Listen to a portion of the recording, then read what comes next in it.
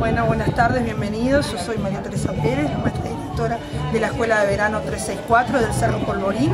En este verano, en este año, nosotros este, tuvimos niños de nuestra escuela, de la 375 Santa Catalina, de lo que es Casabó, de lo que es este, la parte del cerro más hacia Civils. O sea, contamos con muchos niños de, de variadas instituciones, llegamos a un total de 75 a 80 que fluctuaban día a día y nuestro proyecto de verano se llamó el deporte por la convivencia, que luego se cambió y llegó al juego por la convivencia.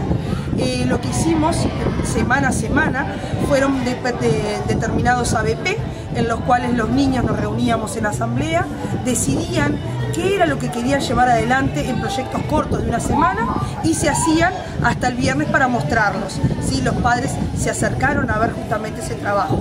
Tuvimos uno que fue el pez de arco iris, ¿sí? en los cuales ellos hicieron visionados de videos y después llegaron a hacer un mural. Tuvimos otro de mandalas, donde crearon mandalas con los padres, donde crearon juegos con reciclados ¿sí? y después bailes mucho baile en el cual también de, acá de la, zona una academia de danza vino a trabajar con nosotros. Así que encantados de tenerlos, muchas gracias.